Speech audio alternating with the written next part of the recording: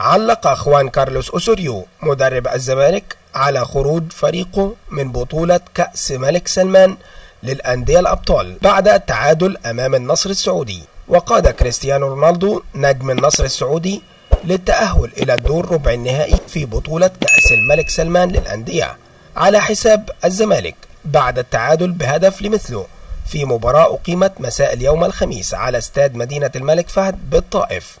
وقال أوسوريو في المؤتمر الصحفي بعد المباراة قائلا فخور بلاعبي الزمالك بعد الأداء القوي الذي قدموه أمام فريق قوي بحجم النصر السعودي. وأضاف أيضا حاولنا إيقاف خطورة فريق النصر ونجحنا في ذلك ولم تتاح لهم العديد من الفرص الخطيرة. ورفع الزمالك رصيده إلى أربع نقاط لكنه يظل في المركز الثالث وارتفع رصيد النصر السعودي إلى النقطة خمسة ليتأهل في المركز الثاني ويلاقي الرجاء المغربي متصدر المجموعة الرابعة يوم الأحد المقبل.